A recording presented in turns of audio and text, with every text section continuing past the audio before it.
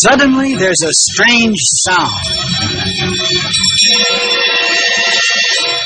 The noise caused the mongoose to let go, and both badly wounded contestants crawl away.